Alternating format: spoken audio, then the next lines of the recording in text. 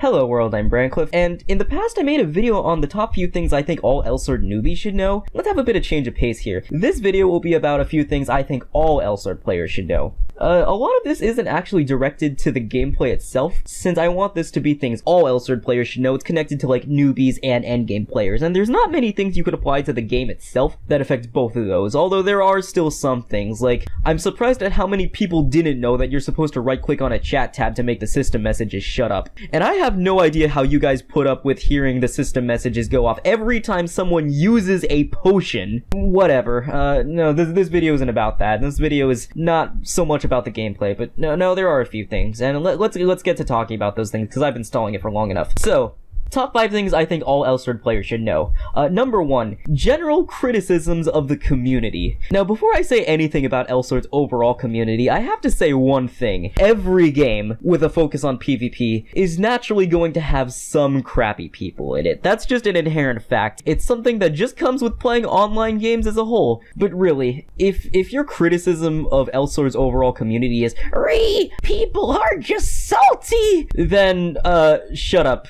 because that's not even that big of a problem. From my personal experience, angry whispers at the end of PvP really are not that common, but may maybe that's because I don't play Rose. But the funny thing about that is, it really doesn't matter if they're common or not, because angry whispers are just angry whispers. Sure, you might have someone stupid slide into your chat box, but after that, so what? It's a little annoying in the moment, and once it's over, it just doesn't affect you again. You'll probably never see it again or think about it again. It's like seeing stupid comments on YouTube. They're stupid and they're like a mild nuisance, but you know, after a while, you just forget about it and move on with your life. Back to the overall community thing though. I think everyone who gets invested in this game has an idea for how they would change the community, but no one is willing to change themselves to suit what other people might find to be a better community. Everyone has ideas, but no one has commitment. I mean, really think about this for a second. You've probably heard someone say something that's like how they changed the game's community, but when they finish talking about it, have you ever thought to yourself like, oh man, that person was telling the truth. I'm going to try to personally adjust myself to not be like that. No, you've probably never thought that. Now, if you're wondering what I'd change about the community, I'd want to reduce the levels of general malicious intent, less like defaming and expose kind of things. That kind of thing doesn't get this community anywhere. I don't see why people really do it anyways. I mean, like, let's say you think someone, some big name in this game is like bad at Elsword. So you make a blog post or a video or whatever about how you think they're bad at the game and exposing them. And it's like, well, okay, now what?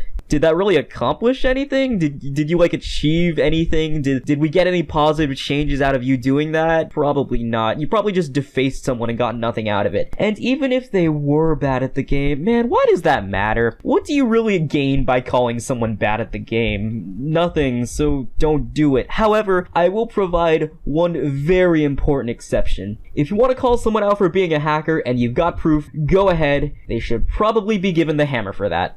Okay, number two, MMORPGs are run by companies. Now this might seem like a really dumb moment, so why am I mentioning this, let alone having it really this early on the list? Well, I see a lot of complaints about this game's monetization methods that I think are highly unwarranted. And it's weird because, like, a, a lot of people who play this game are like anime garbage, so they're the kinds of people who play, like, Japanese gacha games, and it's like, you mean you're not going to complain about having to summon the newest swimsuit Asuna and SAO every time to stay relevant? But if you want to spend a little bit of money on getting your weapon upgraded like once every like year, that's a problem? I, I don't understand. People are weird. People seem to forget that MMORPGs are run by companies, and the point of companies is to make money. Now that doesn't excuse every monetization scheme out there. I'm not gonna tell you that like Star Wars Battlefront 2 did nothing wrong or anything, and I definitely don't need to tell you that because if it has the EA logo logo attached to it, then you can already tell it's horrible. Yeah, I will say, you know, I think one thing that gacha games have over Elsword is a lot of them have a system in place where if you spend enough money, they'll eventually give you the pity points, like in Brave Frontier. And when I'm praising Brave Frontier over the game you're playing, that's when you know there's a problem. In Brave Frontier, they'd say, if you spend enough gems to get 20 summons, we'll eventually give you Dear Bitch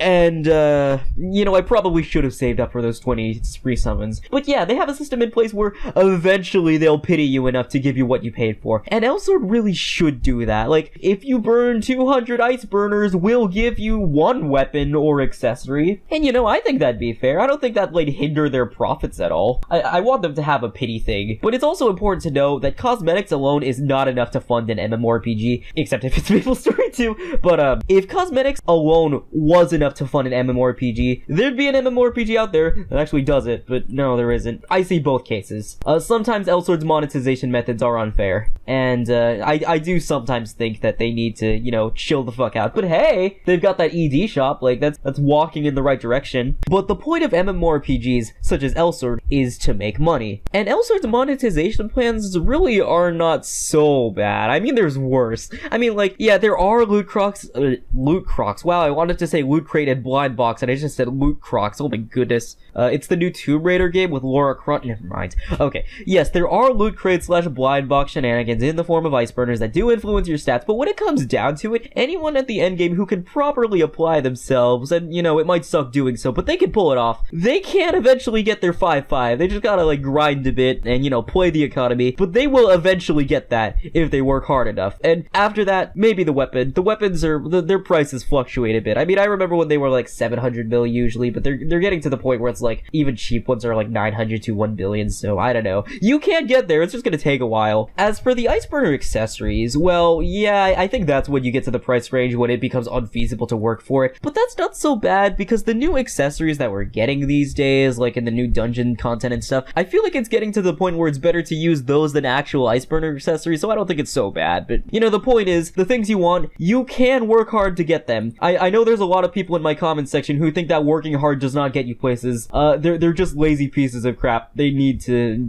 you know, work for things. Like they're probably the people that voted for Bernie Sanders. Okay, that's going too far. You can tell when I go off script for these kinds of things. Now sometimes I hear some complaints from players that at first I think were really valid, but nowadays I'm not so sure. Considering that yes, the point of these games is to make money. Sometimes I see players complain that the company doesn't cater enough to free to play players. And well, considering that the point of these games is to make money, I I don't feel like that's such a bad thing. I I mean like, in the eyes of the company, you're really not helping the game at all, which is why they don't usually have you in mind as much. And, you know, like, look, if, if you're the kind of person who plays Elsword regularly, and you've played the game long enough to the point where you got to the end game, like, you know, you're, you're, you're, you're at the cap, you're working on the third job advancement, it, it kind of bites, cause the quest sucks, but you know, you've gotten that far. I think if you played the game long enough to that point, I feel like you've gotten enough out of the game to justify giving them a little bit of money. I mean, is it really worse than, like, you know, you, you got a game console, right? And some huge triple A uh, RPG comes out, and like you, you you pay sixty dollars for it, and you know it's a blast, and then you finish the game, and then you never touch it again. Like, it, was that really a better use of your money? Because you know, once the game's over, the game's over. But when you're playing an MMORPG, the game isn't over. Like the the upgrades that you get in the game end up lasting you a lot longer because you play the game for a lot longer. Anyways, okay, all right. Number three, the stranger side of your user agreement. Elsword has a weird terms of service compared to other MMORPGs, and this is a two-way street. Sure, they might hit you for something harmless, but this is also the only game I know where you can actually get someone banned by proving without a shadow of a doubt that they did, in fact, scam you and jack your money. I don't know any other MMORPG that does that. Now, look, I know that reading the legalese sounds pretty boring, and that's because it is, but any precautions to ensure that your account stays safe is important. The last thing you want happening is that you get hit for uh, something you had no idea you could get hit for. I'd actually love to tell you more about the terms of service and some examples of things that they can hit you for that you really should not be hit for, but not only does it vary from region to region, but I'm actually not allowed to because one of the terms of service in Elsword WH is uh, not to make copies of the terms of service agreement, and I don't want this video to be considered that.